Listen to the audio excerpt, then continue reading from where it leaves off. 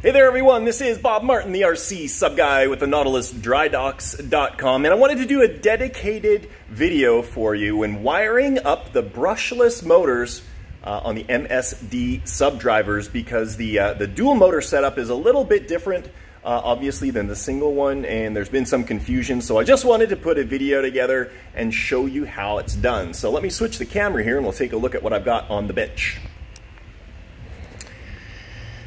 So here is the, uh, the setup. We've got twin motors here, and this is a two and a half inch diameter cylinder. We've got two BL Heli electronic speed controllers, and this is what they look like. A lot of uh, you get your package and you're like, I don't have a speed controller, but this is this is them. They're just nice and tiny. Um, you'll have your uh, uh universal battery eliminator circuit right here. And, uh, and this is the wiring. So we've got main power coming in, and this would be like 11.1 volts from your lithium polymer battery. And that gets split three ways.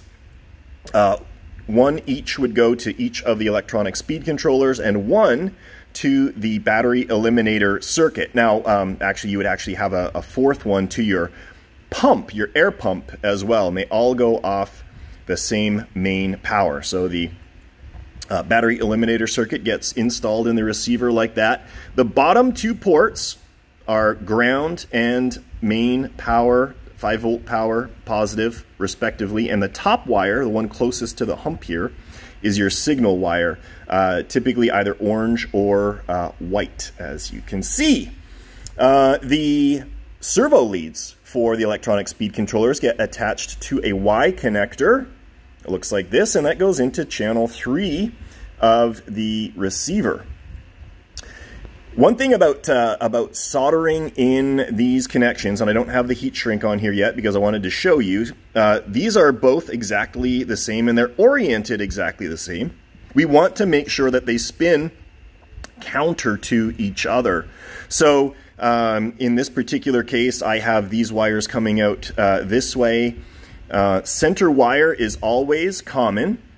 And then the outer two basically control the direction that the motor spins. So you'll see in this case, uh, I got the ESCs wired up opposite each other. So um, this is the circuit board up, and we've got the three wires, and this is the indicator light up, and we've got the three wires. And so they're opposite, and so uh, in theory, when you power them up, the motors will spin in opposite directions to one another. So uh, I'm just going to turn on the radio. The radio is on, always radio first. Turn main power on.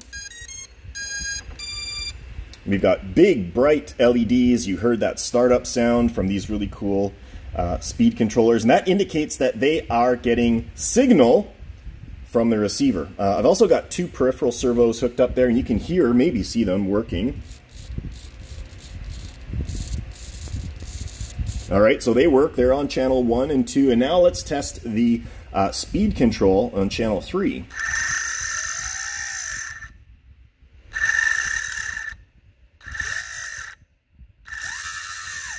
And they're spinning opposite each other, nice and smooth. Everything is working perfectly. So this is the setup.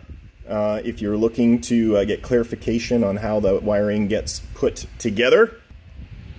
I hope that helps. Uh, I know that this stuff can be a little bit confusing. Uh, this video hopefully will outline how you would set up dual motor outputs on the MSD subdriver um, or any dual motor setup that you got going on for whatever project you have. So if you have any questions, reach out to me at any time. Uh, Bob at rc-sub.com. I'd be happy to help you out and talk you through any issues.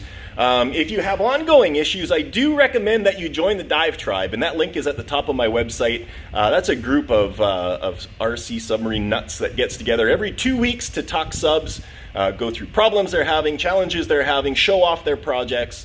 Uh, it's really, really cool and absolutely worth the pittance of a price uh, that I charge to have access to that. So thanks for joining me. Uh, again, this is Bob Martin, the RC sub guy with the NautilusDryDocks.com. Thanks for joining me.